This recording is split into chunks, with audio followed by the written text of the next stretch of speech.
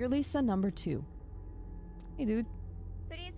Let's practice free throws. Okay.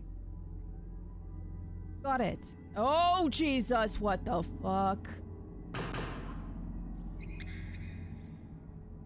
Off to a good start. Off to a really good start. Also, I'm gonna move. Hold on. Jesus Christ.